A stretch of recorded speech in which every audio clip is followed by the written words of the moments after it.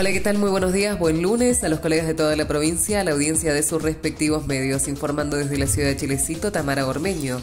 La máxima pronosticada para hoy será de 13 grados, mínima de 4 grados y el cielo se mantendrá parcialmente nublado. Hoy 19 de agosto se celebra el Día Internacional de la Fotografía. Un 19 de agosto del año 1839, Louis Daguerre presentó ante la Academia de Ciencias de Francia su último invento, el daguerrotipo, que permitía capturar una imagen a través de un proceso químico. Ese día también se liberó la patente del daguerrotipo, dando lugar al desarrollo de la fotografía.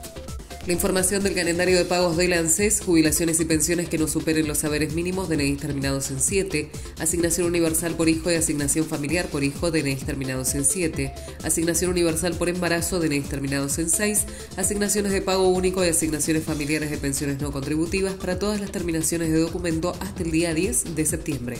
El Hospital Elías Herrera Mota informa que el próximo día viernes 23 y sábado 24 de agosto la doctora Mónica Milani realizará consultorio de endocrinología y diabetes destinado a la comunidad de Chilecito.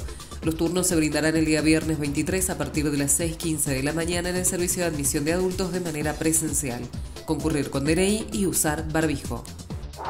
El secretario de Hacienda y Finanzas Públicas, Alejandro Salhuedel, comunicó la organización y modalidad del pago de los bonos de cancelación de deuda, que iniciará el martes 20 de agosto en el departamento chilecito y se extenderá hasta el lunes 26 inclusive.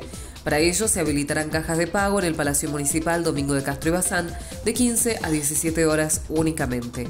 El cronograma se organizó según terminación de DNI, serían dos terminaciones por día. Se solicita a los trabajadores que respeten y procuren acudir el día correspondiente a la terminación del DNI para evitar retrasos. En caso de no poder acudir ese día, deberá esperar el cierre de todo el cronograma y nueva organización de repago. Cada empleado debe presentar el DNI.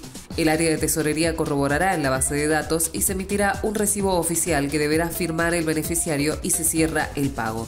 El cobro es personal sin excepción. Se realizó procedimiento con detención de persona con arma de fuego y sustancias prohibidas. Ahora es 23 aproximadamente del día sábado, en circunstancias en que personal de la Brigada de Investigaciones se encontraba realizando recorrido en el barrio Las Torres de la ciudad, lograron visualizar a una persona en actitud sospechosa, quien emprende la fuga logrando su detención a escasos metros, tratándose de un ciudadano mayor de edad de apellido Zuleta. Al realizarle la requisa correspondiente, el personal actuante logró determinar que este sujeto llevaba consigo un arma de fuego revólver calibre 32, una manopla, un cortaplumas, dinero en efectivo, un bolso que contenía cinco cajas con pastillas, dos teléfonos celulares y varios envoltorios de nylon, conteniendo en su interior gran cantidad de sustancias de color verdosa. Se dio participación al fiscal en turno, doctor Walter Alanis, quien ordenó que se trabaje el hecho, como así también se dio participación al personal de la Unidad Operativa Especial de Lucha contra el Narcotráfico para que lleve a cabo el trabajo inherente a sus funciones. Inauguraron la oficina de la delegación de la Puntilla. Escuchamos lo que decía al respecto la delegada Alicia Peralta. La Puntilla no, no había obtenido una obra de esta gran magnitud que es necesitada y anhelada acá por, por toda la comunidad, ¿no?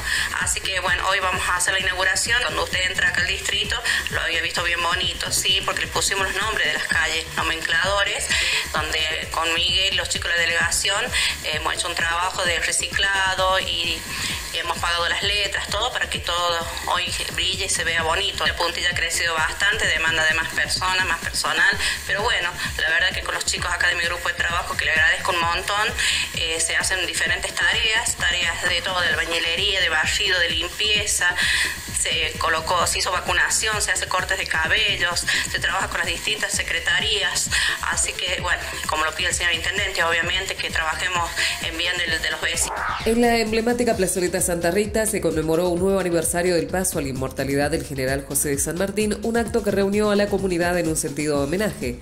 El acto protocolar fue presidido en representación del intendente Rodrigo Brizuelidoria por el viceintendente Marcos Dalaglio, quien estuvo acompañado por los concejales licenciada Mabel Molina, la licenciada Giselle del Carril, Ramiro Nieto Llanos y el contador Julio César Pedrosa. Inspección de Senasa. Profesionales del Servicio Nacional de Sanidad y Calidad Agroalimentaria constataron minuciosamente diferentes sectores de la planta industrial de granjas riojanas a los fines de autorizar la exportación de materia prima, harina de pluma y garra. Idéntica actividad se realizó en Agroandina. Hasta aquí la información desde la ciudad de Chilecito, informó Tamar Ormeño.